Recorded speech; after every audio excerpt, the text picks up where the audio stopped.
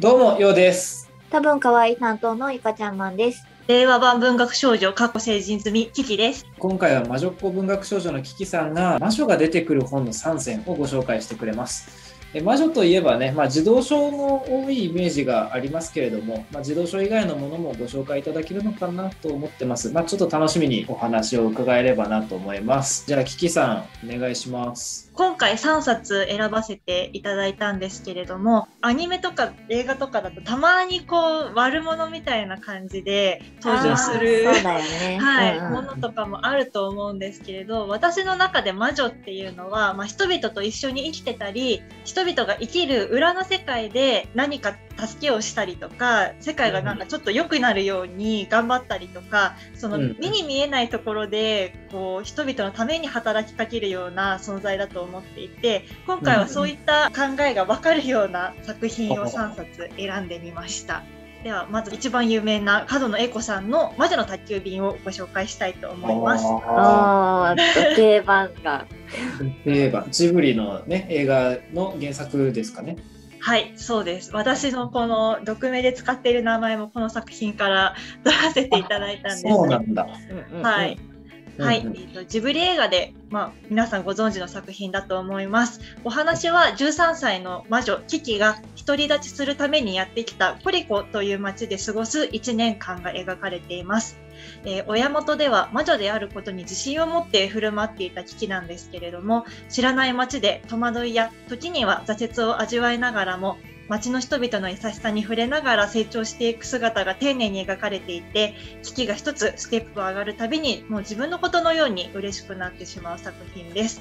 えージブリ映画版とはちょっと異なる物語の展開も見どころの一つだと思っています。じゃああれなのかな？映画版とは異なる展開まあ小説の方が元だから映画で変えたってことになると思うんだけど私魔女宅2とやっぱキキとトンボくんだっけ、ともくんです。うんうん、仲良くするじゃない？あちゃこらと。あれ。あ れが結構好きだったりするんだけど小説版でもその辺はある？それともそこはもう違う感じなんですか？ね逆に私はそう小説版の方が結構絡みが深い気がしていてあそうなんだ。そうなんだ。そう事件とかもちょっと映画版と似たようなところもあるし違うような、あの展開のところもあるんですけど私が結構衝撃的だったのは、うん。えっと、割と序盤の出会ってすぐぐらいのタイミングで変わらずあのトンボくんは魔女について映画版と一緒で興味を持ちまくっててキキってどんな子なんだろううわーってなってるんですけれどそこでまさかのキキのあのほうきを盗んじゃうっていうシーンがあって やべえ男じゃん。やべえ男になっててうんでそこのシーンがあのやべえ男なんですけどあのトンボくんだからちょっと可愛いなふふって笑っちゃう感じなんですよね。へえそうなんだ。そうなんだ。映画では、それはやべえからやめたんだね。盗みはまあ良くないから。まあまあ単純にお子様が真似しちゃよくないからやめたんだね、多分ね。そこら辺のほうき取ってきちゃったらまずいみたいな。うん確かにじゃあそのね多分多くの人は映画版だけ知ってる状態っていうことが結構あると思うのでねその違う展開とんぼくん他にもダメポイントあるかもしれないからそれをねあのはい楽しみに 読んでみそると楽しみです。そうですね。ね。うん。はい。じゃあ次行きましょうか。次は村山咲さんの「魔女たちは眠りを守る」という作品です。えーとある古い港町を舞台に長い時間を生きる魔女とあの反して死にゆく人間たちの交流を描いた作品です。えーコンビニ、黄昏堂などでおなじみの村山咲さんが描く物語はもうすごく切なくて優しくてもう読んでいるとなんかもう泣きたくなってくるものが多いんですけれどもこの作品ももうなんかじんわり胸にしみるものがあります。えーうん人が生きる世界で人ならざる者が生きる辛さやだけどその分先に死にゆく人々の記憶もしっかりと守っていく魔女のあの儚さと優しさがもう心に癒される作品です。これ私も読んだんですけど、私もすごい泣きそうになった記憶がある。電車であんまり読めないあ泣いちゃうからそうそううんすごい目をね、しばたかせて。めちゃくちゃわかる。これちょっとあのその死にゆく人たちとはい。えー魔女の間でなんか交流をしながらお話を進めていく。そうですね。どんなどんな形で交流をしていくんだろうそうちょっと死にゆく人っていう紹介の仕方をしたんですけれども、まあ、魔女ってこの作品の中ではもうずーっと人間よりもはるか先まで生きていく存在でその魔女が生きていく時間の中でどんどん人々が、まあ、年老いて亡くなっていくっていうことになるので実際にこう人生の終盤の人たちに出会うっていう作品の中身というよりは、まあ、若い人たちとも交流をしていくんですけれども主人公が七瀬っていう魔女になるんですけれど基本的に魔女ってこういろんな土地を旅してでいろんなその地、その地の人と交流をしていってだけど一度行った町には戻らないっていう掟が一応あるんですけれど七瀬はちょっと理由があって前にいた港町に戻ってきてでそこでかつて自分がいた時に若かった少女だった人ともう一回再会したりとかでそこで変化を知ったりとか七瀬がその町にいる間に下宿をするカフェバーがあるんですけれども、うんうん。そこも魔女が営んでいて魔女は集まれるんですけれど人間も一応集まれるんだけど選ばれし者しかたどり着くことができないみたいな感じのところで。でそこに訪れる人たちとの話を聞いたりとか交流があったりとかあとは後半はもう七瀬自身がの生涯についての話にだんだん移行していくんですけどそこでもやっぱりこう古の人たちと人間たちとどういう交流があったかっていうのが語られて今の七瀬につながっていくっていうようなそういう交流の仕方になりますね。うーん。なるほどね確かに魔女って旅してるイメージあるよね、うん。ずーっとなんか点々としてて。あなんかあの姿があんまり変わらないからずっとその場所にいるとあのバレちゃうんだよね。そうそうそう。ああそういうことね。あの一応人としてあの魔女だよって過ごしてるんじゃなくて人と一緒に基本的には過ごしてるから。うん。魔女っていうことは言っていないうん。そう。でそうするとじゃあそのさっき出てきた若い子と知り合ってしばらくしてまた戻った時に年をかなり重ねたその人と再会するっていうのは設定上、まあ、危険というかどうどうしちゃそう。うそこどうしどうなっちゃうのはすごい気になるポイントかもしれないね。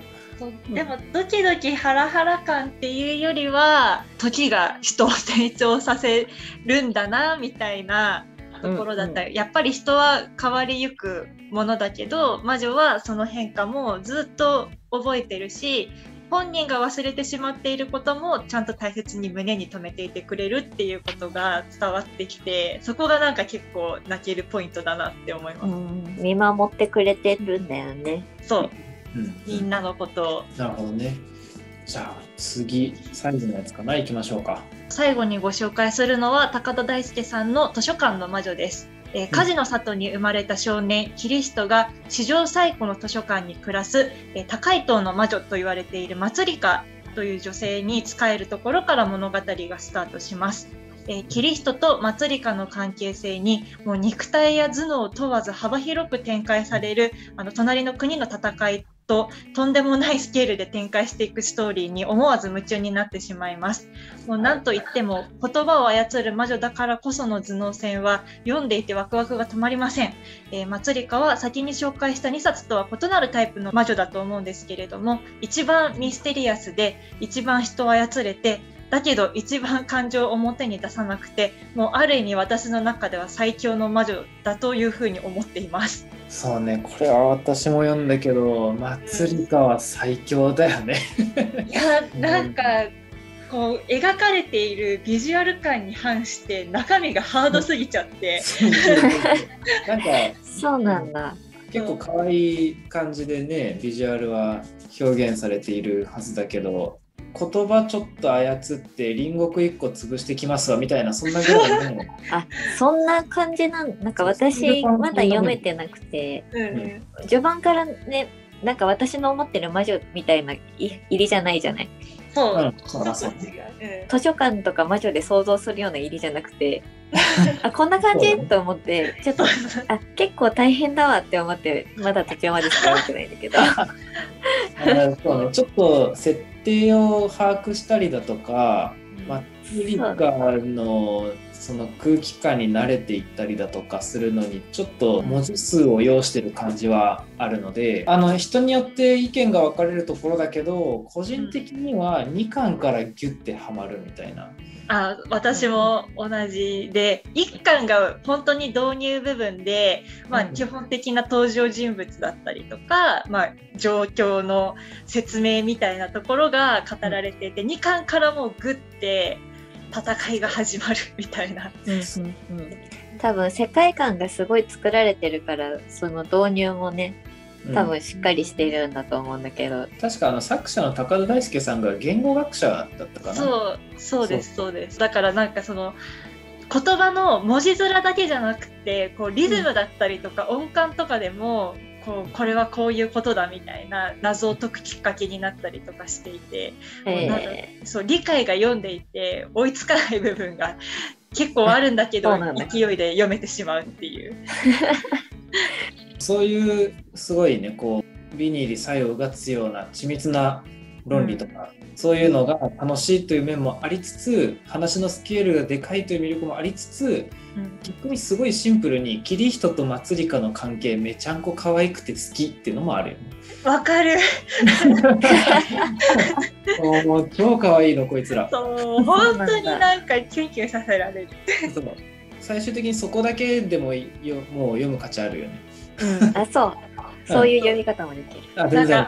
ハードな展開が続いたこう小休止的な感じでキリストとマツリカのなんかちょっとじゃれ合うシーンみたいなのがあって、もうなんかそこがすごいもうハードな展開だからこそ癒しっていう感じ。そうこいつらずっと手つないでんのよなみたいな。